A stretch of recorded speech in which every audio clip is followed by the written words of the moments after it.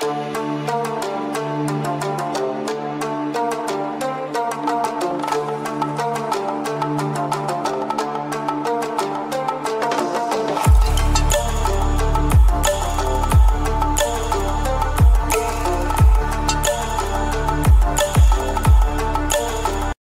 दोस्तों, मैं हूँ तौसीफ़ अहमद और आज मैं आप लोगों के साथ एक बहुत इंपॉर्टेंट इन्फॉर्मेशन शेयर करने वाला हूँ जो कि आप लोग ये देख सकते हैं, ये यामाहा फेज़र है।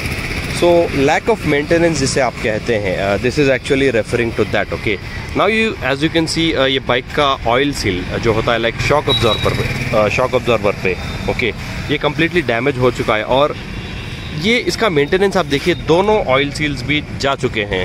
इसका रिज़ल्ट क्या होता है? Like you know when you come to a result actually ये शॉक ऑयल सील जब फूटता है ना तो ऑयल्स ऑयल बाहर आना शुरू होता है शॉक ऑयल और ये शॉक रॉड पर भी पूरा फैल चुका है और ये डिस्क प्लेट पर भी आ चुका है। इसका रिज़ल्ट क्या होता है? मैं इस पर इतना इम्पोर्टेंस क्यों दे रहा हूँ? जैसा आप लोग देख सकते हैं पूरा जमा हुआ है।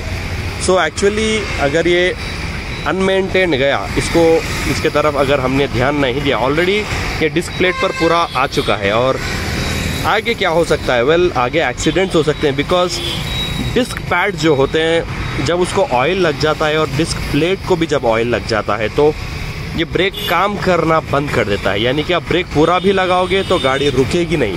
That will be the major issue and it may lead to a lot of accidents people so that is why you just have to be aware of that all right so इतना ही बस बताना था कि जब भी आपकी bike का ऑयल सील अगर जाए तो you just have to you know notice from this area okay leakage यहाँ पर शुरू है, जैसा देख सकते हैं आप। So you just have to get it replace as soon as possible अगर आप नहीं कराओगे तो ये ऑयल सील फूट कर ऑयल शॉक रॉड पर आएगा, फिर डिस्क प्लेट पर भी आएगा डिस्क यूनिट पर भी आएगा, जिससे आपकी ब्रेकिंग इफ़ेक्ट होएगी और you will probably meet with an accident ये जान भी जा सकती है इससे. So that's it people thanks for watching and if you have found this video to be useful do hit that like button and subscribe to my channel and turn on the notification goodbye always ride safe and wear a helmet God bless you